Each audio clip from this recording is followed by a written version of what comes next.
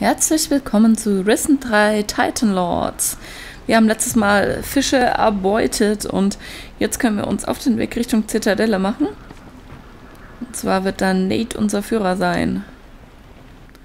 Komm, lass uns zur Zita Zitadelle gehen. Lass uns zur Zitadelle gehen. Du hast nicht zufällig etwas Fisch dabei? Zehn Stück würden schon reichen. Klar habe ich die. Hier, ich habe etwas rohen Fisch. Wunderbar. Wo hast du den denn jetzt aufgetrieben? Na, ist doch egal.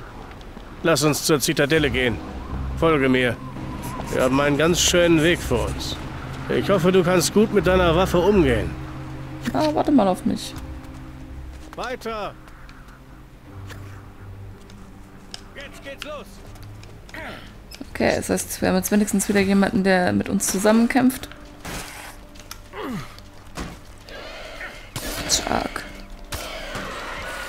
Den ersten schon besiegt hier? Tatsächlich. Der ist aber fix, der Typi. So, der Nate. Jetzt hätt's doch nicht so. Hier gab's noch ein Klingenblatt. Das könnte mir irgendwann mal nützlich sein. Weiter! Du machst doch nicht etwa schlapp? Ich komm schon klar. Dann ist ja gut. Wenn du noch Fragen hast, frag einfach. Was macht ihr, wenn ihr gar keinen Fisch mehr bekommt? Wir haben den Kontakt zu zwei Bauernhöfen verloren. Noch gibt es genug, aber wenn noch mehr Leute auf die Insel kommen, kriegen wir ein Problem. Noch ist keine Panik ausgebrochen. Aber bald, fürchte ich. Lass uns weitergehen. Alles klar. Bleib dicht hinter mir, hier ist es nicht ganz ungefährlich.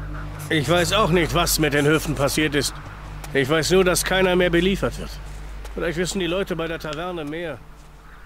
Gibt's da nicht nochmal? Da kannst du ja mal nachfragen, wenn du möchtest. Weiter geht's. Ich komme ja schon, ich komme ja schon. Komm schon. So. Da gibt's den nächsten. Das ist schön, wenn der die erledigt, dann kriegen wir dafür nämlich auch Erfahrungspunkte bzw. Ruhm.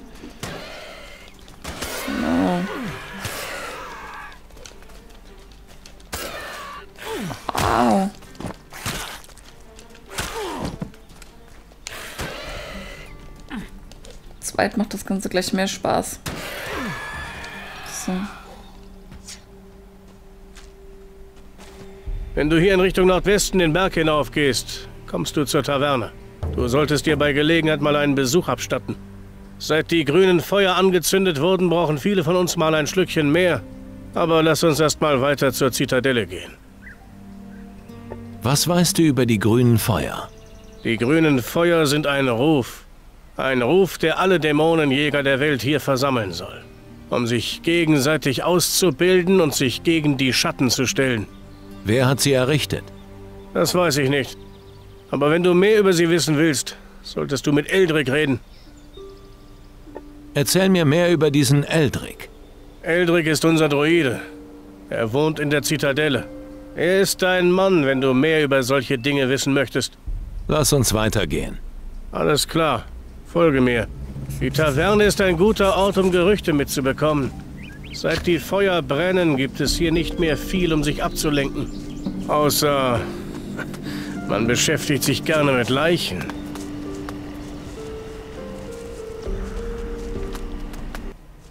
So, ich muss jetzt gerade noch mal kurz neu starten, weil ich ähm, was geschaut habe und dann hat das Spiel gehangen. So, aber das speichert So. ja Gott sei Dank öfter Wir sind automatisch. fast da. Gleich sind wir an der Zitadelle. Die letzte Bastion gegen die Schatten. Was kannst du mir über die Schatten erzählen? So viel weiß ich auch nicht über sie. Ich weiß nur, dass sie für eine Menge Chaos sorgen. Vielleicht sind es die Vorboten darauf, dass hier bald alles zu scheiße wird. Ich weiß nur, dass ich sie töten kann. Mehr muss ich nicht wissen. Okay, lass uns weitergehen. Alles klar. Wir haben es gleich geschafft. Gleich kannst du die Zitadelle in voller Pracht sehen. Wenn es einen Ort gibt, an dem du sein willst, wenn alles den Bach runtergeht, dann ist es unsere Zitadelle.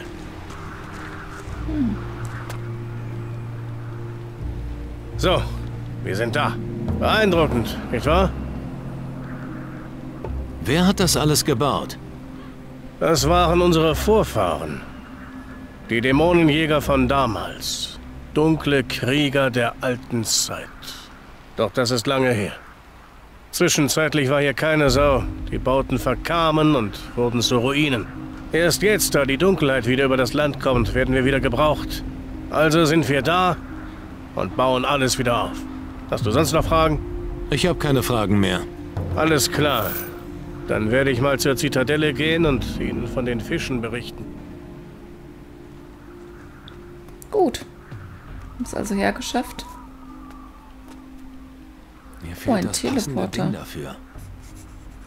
Okay, cool. Um später schneller über die Insel zu kommen. Das ist also die Zitadelle. Ich sagen, wir schauen uns doch in der Zitadelle mal ein bisschen um, beziehungsweise hier gibt es doch noch was. Genau. So. Hallo Drake. Familie, Was? Familie, deine Abstammung. Damit ich weiß, zu welchem Dämonenjägergeschlecht du gehörst und ich dich in die Liste eintragen kann. Oder bist du nicht dem Ruf der grünen Feuer gefolgt? Ja, lügen oder nicht lügen? Na, versuchen wir uns mal beliebt zu machen. Doch, mein Großvater war Dämonenjäger. Dein Großvater? Ist er nicht ein bisschen zu jung, um echter Dämonenjäger gewesen zu sein? Ähm, Hör mir mal genau zu. Wenn du mich belügen willst, solltest du dir schon etwas Besseres einfallen lassen. Für so eine Scheiße habe ich keine Zeit. Wir befinden uns im Krieg. Ich würde ja gerne selber losziehen, um den Schatten eins auf die Fresse zu geben, aber... Naja, irgendwer muss sich ja um den Laden hier kümmern. Na gut. Was machst du denn Schönes? wofür bist du hier zuständig? Ich kümmere mich um die Neuankömmlinge. Ich war der Erste hier. Und werde auch der Letzte sein, der noch steht. Sofern dieser Tag kommt. Hast du schon mit unserem Druiden Eldrick gesprochen? Nein. Dann tu das. Er wird sich freuen, ein neues Gesicht in unserer Zitadelle begrüßen zu dürfen. Du findest ihn im hinteren Bereich. Oh, der kann einem auch was beibringen. Was kannst du mir beibringen? Was möchtest du wissen? Armbrust. Medikus. Stärke Armbrusttalent um 10% Push. Solange ich noch bluten kann, lebe ich noch. Hm. Das gilt auch für dich. Noch stärker als für die meisten anderen Menschen. Dein Blutwert steigt um plus 10 pro Stufe. Das, das wäre schon mal cool. Also. Wie viel Gold habe ich denn? Sprüche herstellen lernen. Das ist auch wichtig. Binde die Magie deiner Sprüche in einfache Gegenstände. Jeder dieser Gegenstände erhält eine Ladung des Zaubers. Oh, wow. Muss man sich alles mal merken. Schauen wir mal. Zeig mir, wie ich im Kampf mehr aushalte. Okay.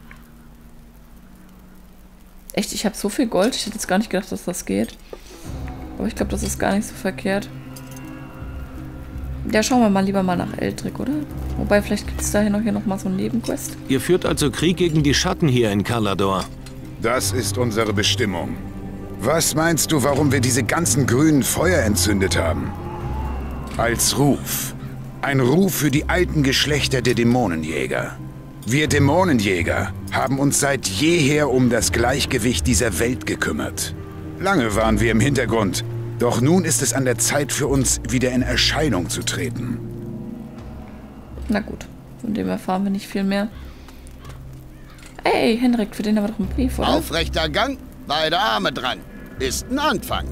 Und dein Schwertarm scheint auch brauchbar zu sein.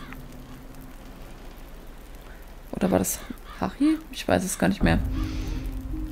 Brauchbar? Ich erwürge eine Seeschlange mit bloßen Händen. Ja klar. Und wo ich einen Haufen hinlege, wächst ein Nadelwald. In der Zitadelle ist für jemanden wie dich sicher noch ein Platz frei. Okay. Drücken wir eine Runde? Aha. Ah, schauen wir mal, gibt es hier nochmal Au Aufträge? Kann ich mich irgendwo nützlich machen? Da fragst du am besten die anderen. Für gewöhnlich findest du sie über die ganze Eisenbucht verstreut. Na toll. Jetzt zieh mal nicht so ein Gesicht. Du kannst ja mal versuchen, mich im Armdrücken zu schlagen. Für gewöhnlich stehe ich jeden Abend am Tisch und trainiere. Sprich mich dann einfach an, vorausgesetzt, du hast die nötigen Eier in der Hose. Na, dann drücken wir mal eine Runde. Drücken wir eine Runde. Immer doch. Aber pass auf, dass ich dich nicht über den Tisch ziehe. Solltest du es wieder erwarten schaffen, mich zu schlagen, gibt's eine besondere Belohnung. Ein alter Opferdolch. Jeder, der so ein Teil mit sich führt, wird Wurfdolche in Zukunft besser beherrschen. Also, halt dich ran. Okay, schauen wir mal. Drücke die Tasten im richtigen Moment, um deinen Gegner zu überwinden.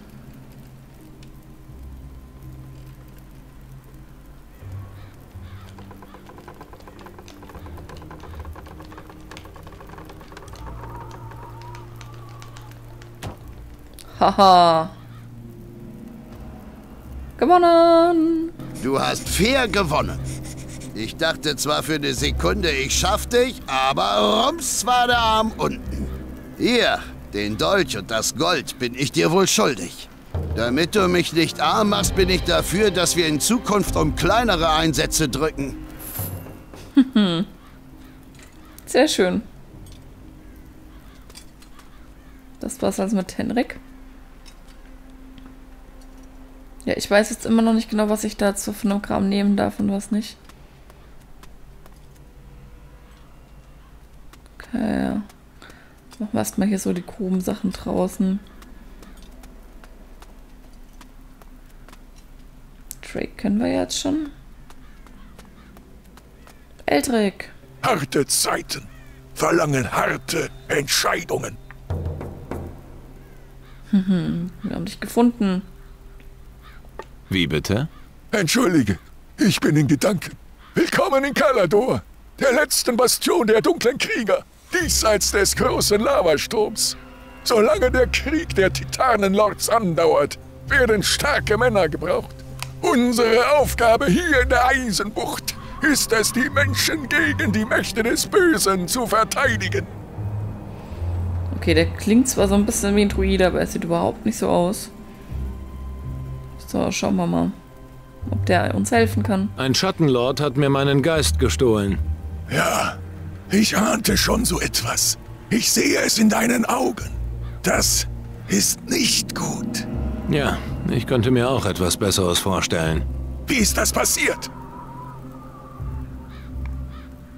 Machen wir es kurz. In einer Totenkopfhöhle an der Krabbenküste kam ich einem Kristallportal zu nahe. Diese Totenkopfhöhlen wurden überall in der Südsee gesichtet. Mich erreichen hier unzählige Berichte von Menschen, die von Schatten gejagt und getötet wurden. Nicht selten wurde ihnen nur der Geist genommen, um sie gefügig zu machen. Allein deinem starken Willen ist es zu verdanken, dass du noch Herr deiner Sinne bist. Die meisten erliegen den Angriffen der Schatten und werden in kürzester Zeit selbst zu einem Schergen der Unterwelt.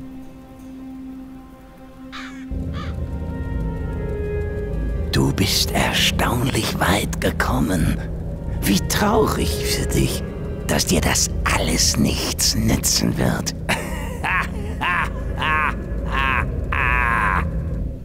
Ich will kein Scherge der Unterwelt werden.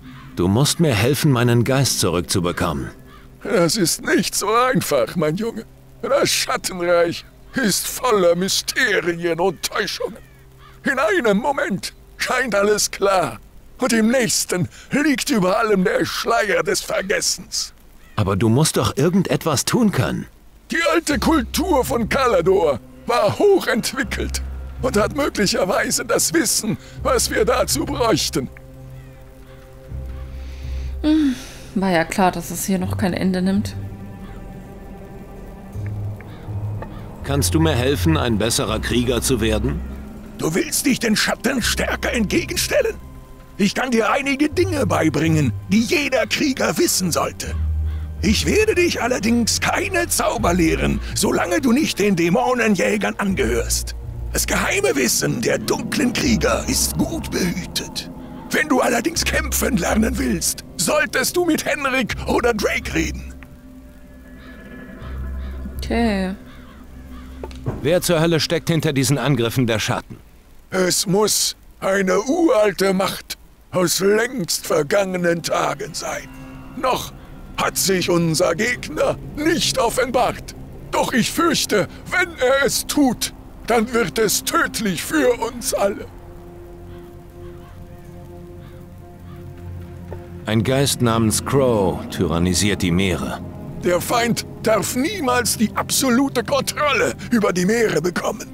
Wenn das geschieht, sind wir alle auf uns selbst gestellt. Niemand wird mehr mit der Unterstützung einer anderen Gemeinschaft gegen die Schatten rechnen können. Was macht ein Druide bei den Dämonenjägern?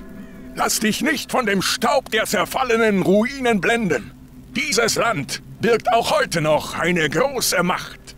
In seiner Blütezeit verstanden die dunklen Krieger von Kalador noch die höheren Zusammenhänge der Titanenkriege. Sie konnten die Titanen aufspüren und kannten die wunden Punkte ihrer Meister, der Titanenlords. Die Nachkommen der großen Krieger von einst haben auch heute noch diese Kraft. Ich zündete die grünen Feuer und sah, wie sie in das Land ihrer Ahnen pilgerten, auf der Suche nach ihrem Schicksal.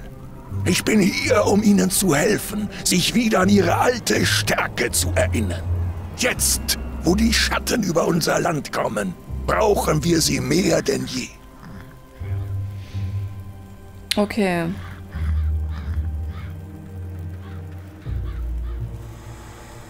Aber schon, dass wir hier noch was tun können. Wie kann ich euch unterstützen?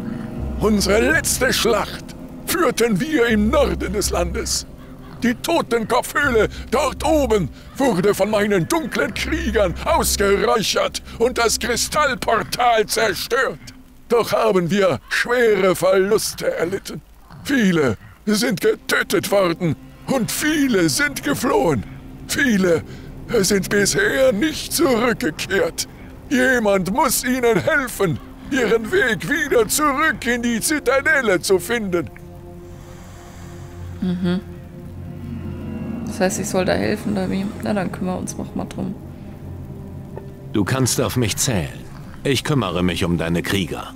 Vielen Dank. Wie gesagt, wir können jede Hilfe gebrauchen.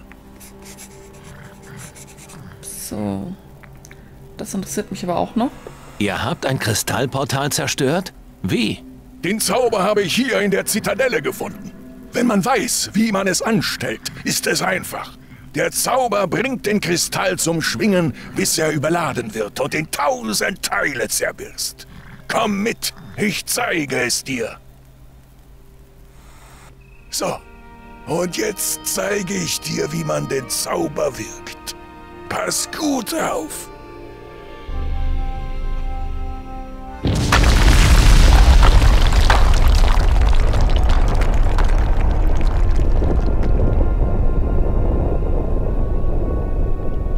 Und jetzt du. Ich werde es versuchen.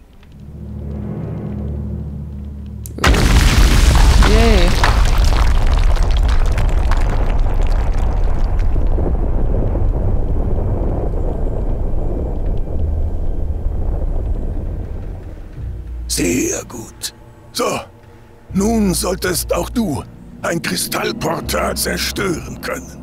Danke. Ich kann es kaum erwarten, die Dinger zurück ins Reich der Schatten zu sprengen. Sehr schön, wieder was gelernt. So, sollen wir erstmal gucken.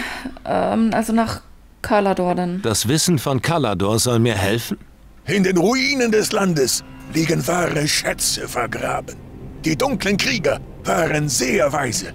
Sie kannten sich aus mit den Mysterien des Schattenreiches. Das alte Wissen, was sie in ihren Gebäuden gesammelt haben, liegt oft noch völlig unberührt in ihren Ruinen verborgen.